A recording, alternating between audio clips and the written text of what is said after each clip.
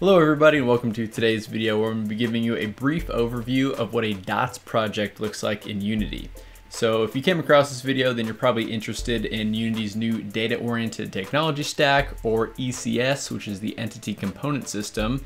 So in today's video I just wanted to give you a brief overview of what a project using DOTS and ECS kind of looks like and what are some of the components and windows and things that you are going to be interacting with as you start to implement dots and ECS into your own Unity projects. Now I know dots and ECS can seem pretty complicated and maybe a little bit overwhelming just because they're brand new and there's a whole bunch of big words in the documentation and it can kind of get confusing and you can get lost in that pretty easily. So instead of kind of just like going over some of the terminology or making a tutorial video on the basics of it, I just kind of wanted to show you what a project using dots looks like in Unity so you can start kind of training your mind to think about how you want to make projects in dots. So don't worry if things don't make complete sense right now. I am going to be going into much more detail about you know what are the individual components for dots and how to actually use them and implement them into your games. But again, today I just wanted to give you a quick overview maybe go over some easy terminology, you know, show you some of the components that you'll be interacting with, and again, just to kind of get you familiar with using dots in ECS. And before I get into the video, I'd just like to say if you did find it helpful and you learned something, make sure you hit that like button.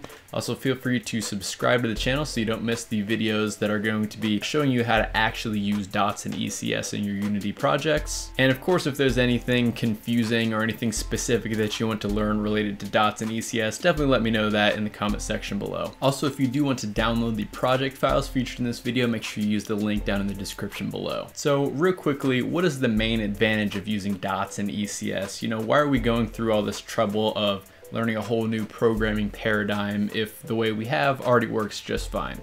That's a great point, and you know the reason that Unity says is it's performance by default. So performance optimization is really what you get with dots and ECS. So that not only means that you can make much more complex games, but you can make those more complex games for lower powered systems. You know, things like the Nintendo Switch, mobile phones, or even web browsers. And so I think that's where it's really exciting for me. So you can take, you know, simple games like this Pong game that I have playing behind me, and you could have this running just on a regular, you know, crappy old phone from a couple years ago, and that would be no problem. However, using dots, you can do this and see no performance hit whatsoever. So now I'm going to show you this little Pong project made with dots and this project was actually made following an official Unity tutorial which I'll link in the description below.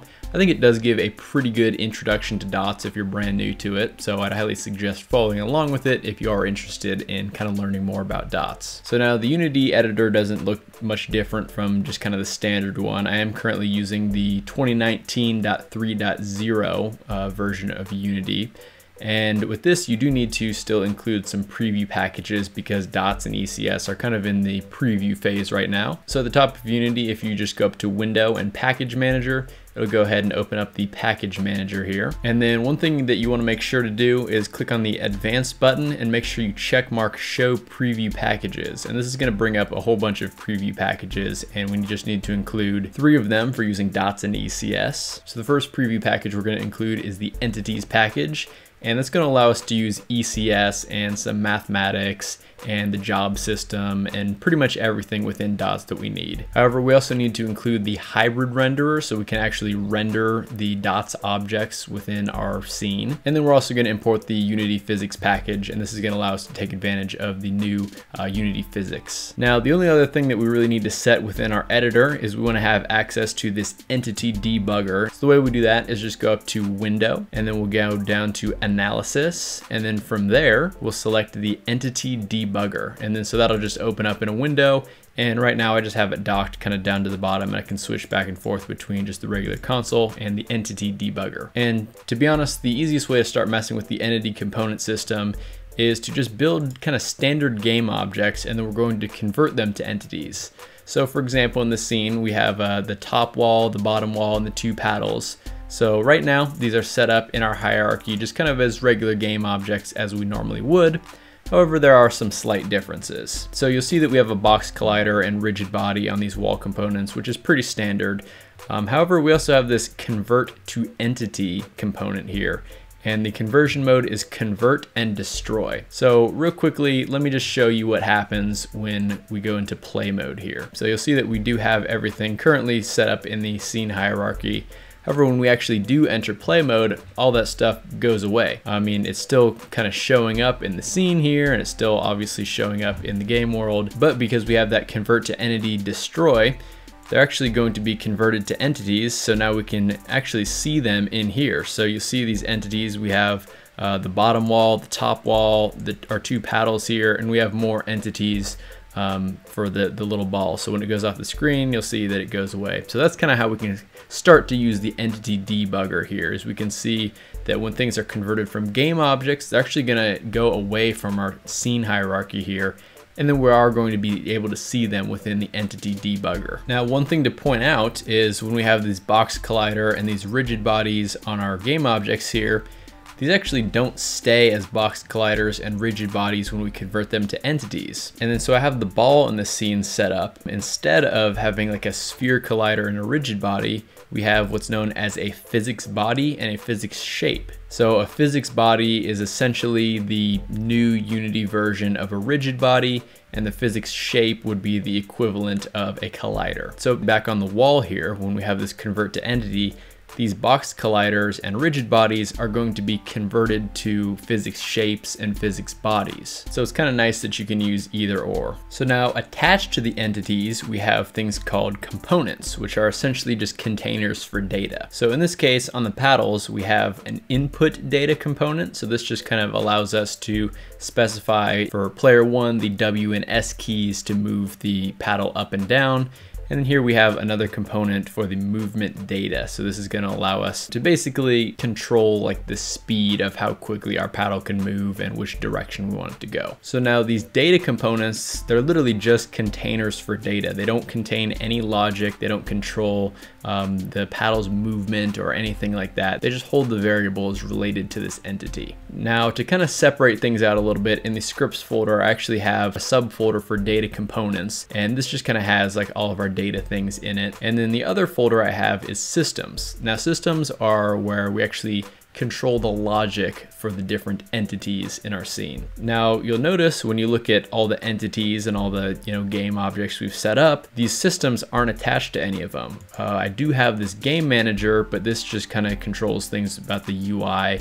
It doesn't control the entities at all. And so actually with these systems, we don't need to have them attached to any game object in the scene. And so we can actually use the entity debugger to see that our systems are actually working here.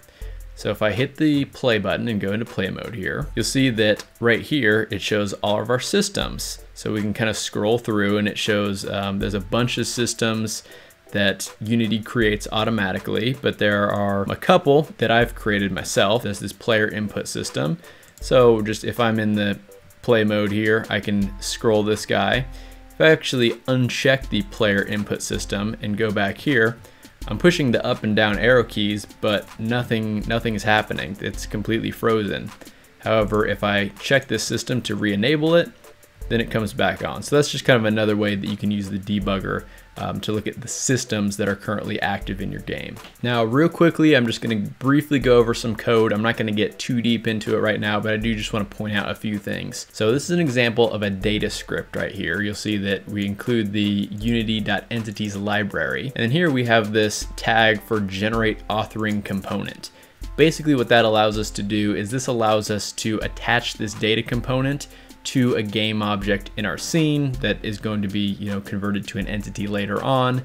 And this allows us to basically publicly control these direction and speed variables through the editor. So this, this basically just allows us to access these values right here. And then you'll notice that this inherits from the interface I component data as opposed to something like mono behavior. Basically, this is just kind of what we need for these components and it, it kind of limits us what we can do. We have to make this a struct and we can only use certain data types. But again, I'm not getting into all that right now. That's gonna be something coming in some of the later videos. So now this is a system and this is where things start to get a little bit more more confusing, but again, I'm not getting too deep into it right now. I just kind of wanted to point out a few things. So this time we're going to be inheriting from the job component system class And one thing with that that we need is this protected override job handle on update. And this is much similar to the standard update function. It's gonna be called every single frame. And then so within this, we can kind of define the behavior that we want to happen for each frame. Now, one thing that we're gonna be seeing all the time is going to be these Lambda expressions. So we have this entities dot for each, and then kind of within here, we have some parameters, and then we do this arrow, then we have these brackets, and then we actually kind of define what we want to do inside here. Basically, what this is saying is for each component that has a translation component as well as a paddle movement data component, we're going to be applying the following code to it. And so in the case of this project, the only things that have both translation components and paddle movement data components are of course going to be the player paddles. So then you'll notice that we have the ref and in keywords. Ref is a reference to this, which means we're going to be able to read from it as well as write to it. And because we're going to be, this script is going to be used to move the paddles, we want to take in the current data to see kind of where it's at right now and then we want to be able to write new data to it so we can actually move the position to somewhere else on the screen. And then the in keyword is read only. So under this paddle movement data, we are going to want to read the speed and direction from the paddle movement data, but we don't necessarily need to change it or anything like that. And then the last thing that I wanted to point out is just this run keyword at the end. And so this run basically tags this to run on the main thread. And that's kind of where we start getting into the job system. But let me just show you on this script over here, this is where we're going to be increasing the velocity for the different balls on the screen. This time, instead of doing a dot run, I do a dot schedule. And a dot schedule means that we can schedule this to run on the worker thread. So instead of running it on the main thread, we can run it on separate threads. So we can kind of start doing multi-threading, which unlocks more and more performance out of our games because we can have things being calculated on different threads instead of the main thread. Again, don't feel overwhelmed right now. We're gonna be going into much more detail on what all this means later on. So anyways, as a brief overview overview of what a DOTS project looks like in Unity. I hope I didn't overwhelm you too much. Of course, if you do have any questions or anything like that, feel free to leave it in the comment section below so I kind of know what things that I really need to go over when I start making more videos on how to actually use dots and what kind of some of these terminologies mean and how we can kind of start thinking about how to make our projects using dots and ECS. And so if you did enjoy this video and you found it helpful, make sure you hit that like button. Also feel free to subscribe to the channel for lots more videos on dots and ECS. And don't forget that you can download the project files featured in this video using the link down in the description below. But I hope you all have a fantastic rest of your day and I'll see you in the next one. Peace.